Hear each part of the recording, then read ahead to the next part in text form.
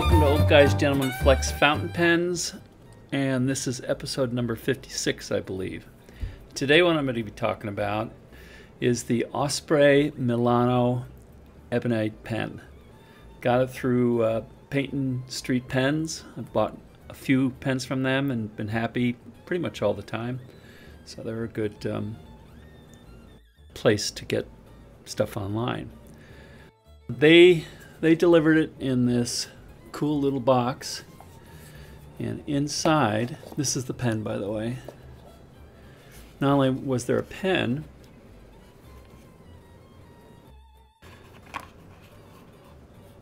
but there were these.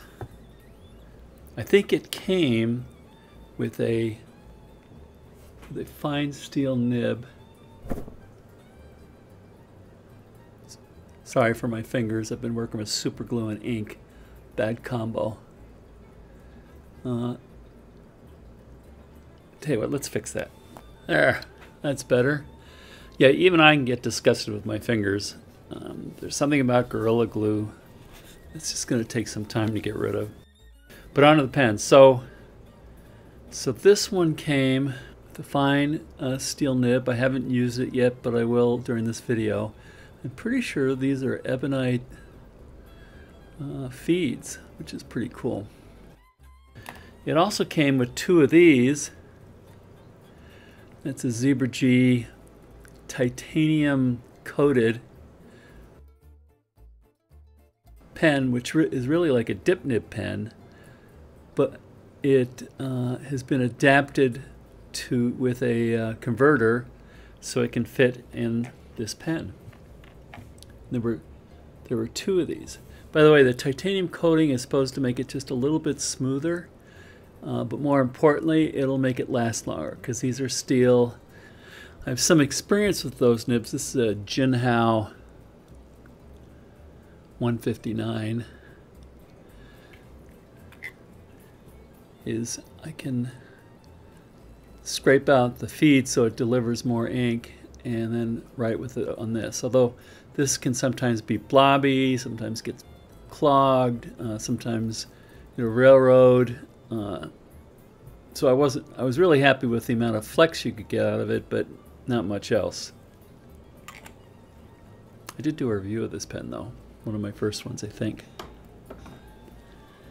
All right. Well, the other thing interesting about this uh, converter, it's a it's a piston feed converter, and they set it up so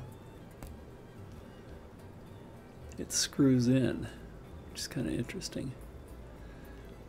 Probably can't see the feed in there. Flush with a little groove, a little feed feed hole. The pen itself is a nice hefty pen. It's made from uh, hard rubber that's been chastened. It says uh, so it says Milano down here, Osprey, and it's basically got this etched, scratched in design.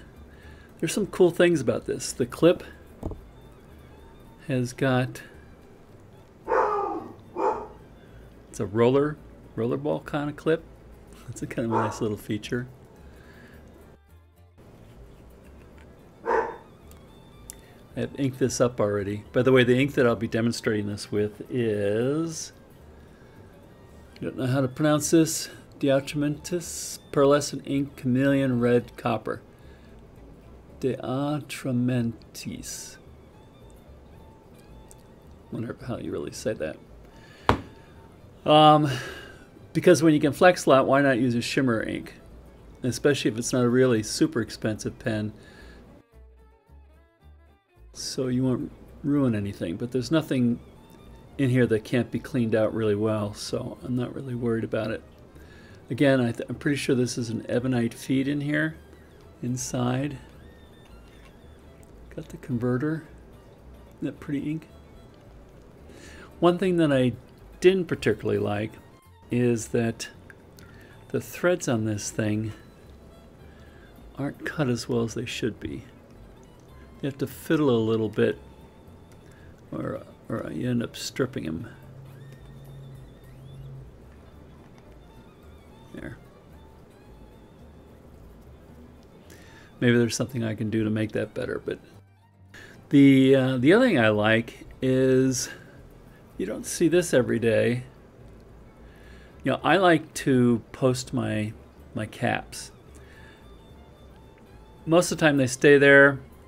Other times you put it on there, especially if they're vintage pens, you worry about cracking the cap because you're pushing it down on the back of the barrel and you're putting too much pressure on it. But this one is threaded. I kind of like that. I mean, one downside is I really kind of like to have the clip in line with the top of the nib, and you can do that by by fiddling around. Now, there's the same issue here with um, the threads not being cut as well as they should. You can always figure it out. There we go. There. Now it's perfect. Um, so now it fits really now it fits really well in my hand.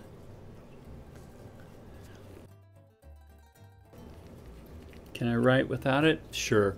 It's it's kind of that big of a pen. In fact, okay, posted it is six and three quarters inches.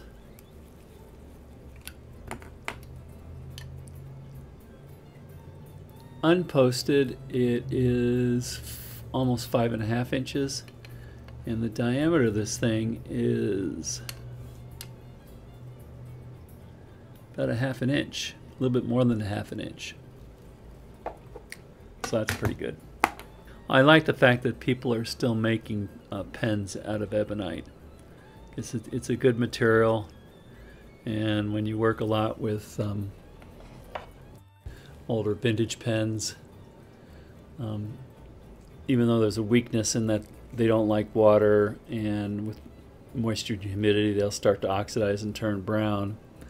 Um, it's just, it's a nice connection to the past. So let's see how it writes. This has been sitting out in the air for a while, so I'm not sure if it's going to uh,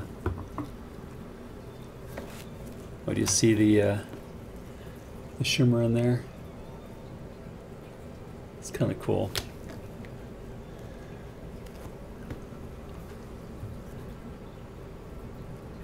Okay, it's still got stuff in it. So I'll show you how fine this thing. These these zebra G nibs are just great. Oh, I guess that's the other uh, downside I should have mentioned is that uh, to make these things last and the, there's instructions online with them as well, is you should really um, wash this, dry it, have it standing straight up like this for a while while it's drying, and then cap it so it stays dry, and then it'll last you a real long time. An uncoated nib may only last, I don't know, a week or so. Uh, if you don't go through all this stuff, this is supposed to last four times longer than that. Uh, they are cheap. There's a box like this I bought for um, a Jinhao, and I want to say this was like 10 bucks for for 10 nibs roughly. So, and for me, they're pretty easy to replace. There is one other thing I wanted to show you that's kind of neat, is um, besides this being threaded so that you can post it, you can also unscrew the back.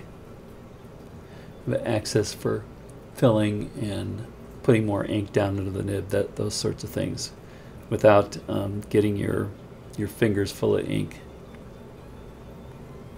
I think I would still find a way to do that though. Okay, so let me post this. And uh, by the way, I've changed inks. I was, I did have it inked up with this, and it was working perfectly last night. But I left it in the pen overnight. I think that's not something you're supposed to do. Um, you're supposed to clean it out, and I just did that. And instead of doing that, I know that a, a nice wetter ink works better on this stuff. So right now I'm uh, loaded with uh, Pilots Iroshizuku Gao. First those fine lines.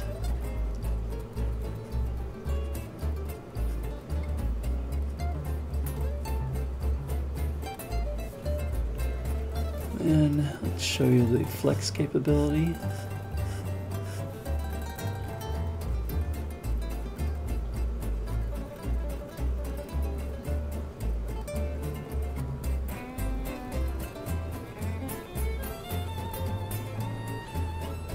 Letting a lot of ink out.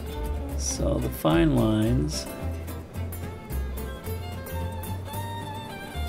Fine lines are like triple extra fine, and the fat lines are fatter than, um, this is probably like 4B. It's fatter than 1.4 millimeters. So let's do some more writing.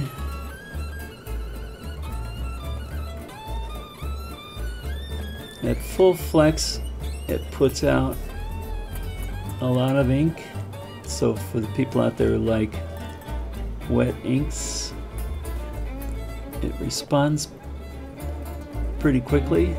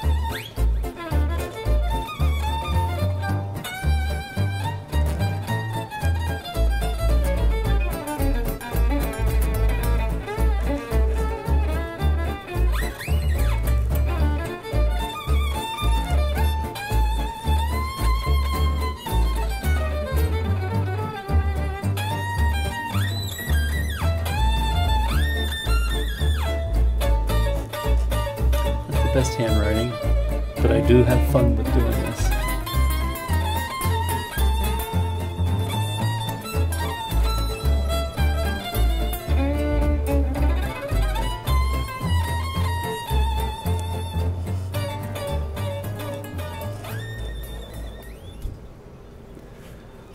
So for 90 bucks, that's a pretty good deal. Let's let's see what the regular nib is like with the same ink.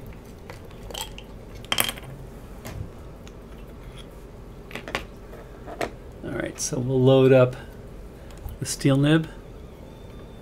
Well, this one has got a different um, filling mechanism. It's a slide piston.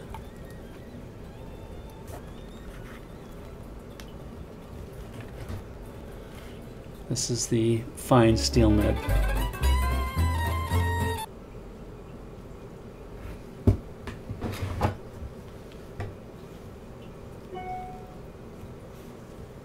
Well, that's interesting.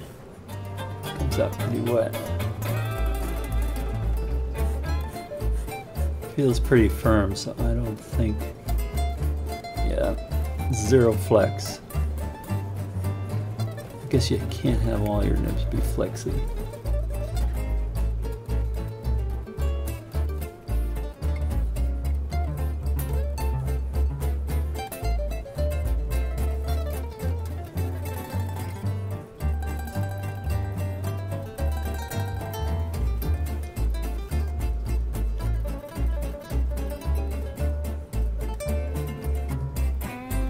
So I won't do the rest. It's just a plain steel nib, nothing special about it. It's um, it's nice and smooth, that's for sure. And it's pretty wet with this particular ink. First started writing with this, the the ink flowed out quite a bit, and it was actually blobbing on the paper. So what I did is I undid this, made sure that the piston was backed all the way out, cleaned it off a little bit, and then started all over again. They do warn you when you first get any of these nibs that you should wash them or clean them first. I didn't do that. So, because it's working, it's working great right now. So, so what do I like about it? I like that it's made out of ebonite or black hard rubber. Um, has that nice connection to the past. I like the clip. I like the fact that you can screw in the post and not worry about it anymore. I like the fact that you can unscrew this back end and have access to the converter. And then if you want to get your hands dirty, you can unscrew it down here. I really like the fact that they use a ebonite, ebonite feed and that you can put in zebra G nibs so I can get you know really nice fancy line variations like that. So that's a lot of good going for it. I also like the fact that they give you two of these in addition to the regular fine nib. So that's all great. What I don't like about it is that I guess you'd call it the fit and finish that you have to be careful when you screw this on. Like right there, it's it's catching, and if I push that, it would um, call the threads. So kind of have to play with it. There. And um, same same when you post it. Although I put a little bit of silicone grease on there, and that helped a lot. But did the same down here and it didn't. So that's not so good. The other thing I didn't like is there there was a lot of stuff off camera that you didn't see. When I put the um, the regular nib on here, uh, when I first started riding with it, I got big globs. Now they do warn you that you need to thoroughly clean and wash flush the, the nib beforehand, and I didn't do that with that one. I did do it with this one, and I got pretty good ink flow. But it's it's not like a fountain pen where you can ink up and two days later do it again and a week later do it again. I mean, you might have luck and be able to do that. But with this particular one, I'm finding if you want it to work like that, you've got to clean and dry this I think it's okay to leave the ink in, but then store it like this. So it's not like a fountain pen you could stick in your pocket. Maybe you could ink it up one day, stick it in your pocket, use that day, but when you get home, you better clean this and dry it and let it sit like this for a while. Even with these, they don't work straight off. You've got to run some ink through it and clean it a little bit um, purge it with water, let it dry, uh, and then it seems to be okay. But it's also kind of picky about inks. I didn't mention this earlier, but uh, when I used a fairly dry ink, like this Pelikan 4001 uh, Brilliant Black, it it would kind of railroad all the time. So I went to you know wetter ink, like the like this stuff, and and it went fine. And and maybe you'd have this with any pen. Uh, this worked great last night, but I didn't clean it up overnight. Sat there. I, I, washed out a little bit, but not really sufficient to uh, clean up, so it didn't work with that. So it takes some fiddling with to get the results you want. Can't really put it in your pocket for very long it's just not like a regular pen. But balance that against being able to to do this cool line variation because I'm a flex nut. I'm glad I got this and I'm going to keep it. I'm not going to sell it. And I'll uh, I'll change the nib when it wears out. Maybe this is just a problem with this particular one, but it shouldn't be like that. I don't think I've ever had a pen that kind of bound up when you try to put the cap on. And then when you get it right, it, it's, it's just perfect. But that's not perfect. So I wouldn't recommend this for everyone. It's for those of you who, who like to write in this style and maybe get tired of using a dip pen. There are other pens out there that are using these nibs, but this is the first one that I that I bought that was specifically designed and set up to use these these nibs. So I hope you got some value out of it, and that is the end of this video.